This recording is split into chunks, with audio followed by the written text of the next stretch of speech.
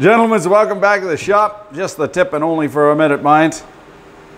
Doing some arts and crafts project here. Now, I learned this from the government. If you're gonna go broke, you might as well have some fun doing it.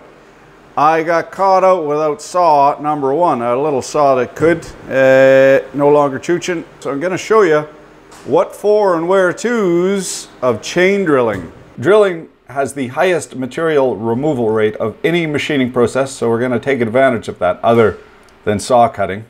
But uh, as I said, saw is not available. So we're going to chain drill this. Essentially what we're going to do is come in here and peck little divots so that we have a guide for you want the stiffest tool you can get. If carbide and choked right up is what you got, then that's what you got. But here in the Empire Dirt, you got to piss with the cock you got.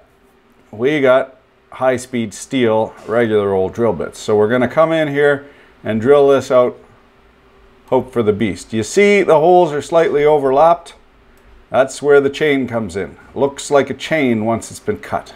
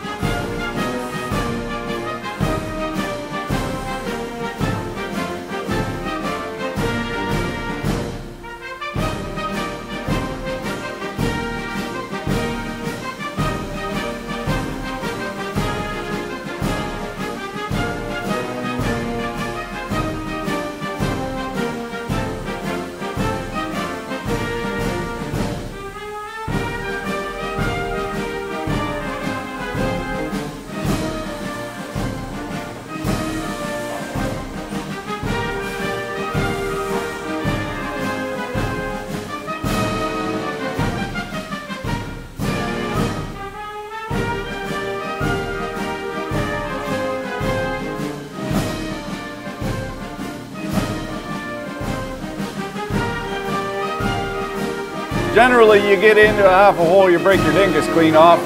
In this case, there's a trick to her. So you'll note I'm drilling the holes staggered. I'm skipping a hole each time. There's a reason for that.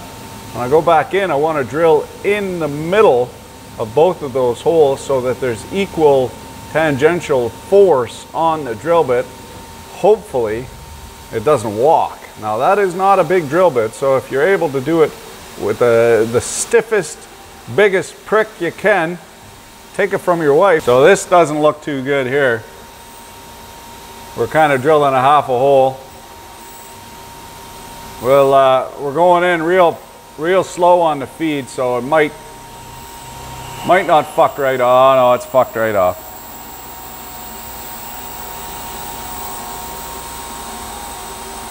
This for tits and pickles. We're gonna let her buck. I'll show you. That was a fuck up on the programming side. You know, any engineer will tell you that uh, ain't nothing to this machining. You just hit the green go button and away she bucks. So I'm coming in betwixt the between of those two holes and because I've set the dimple in there already, we should be able to go through. I'm not much of one for getting shoulded on, but should being the operative word. We'll give her a little meter slide in there, help clear out the hole.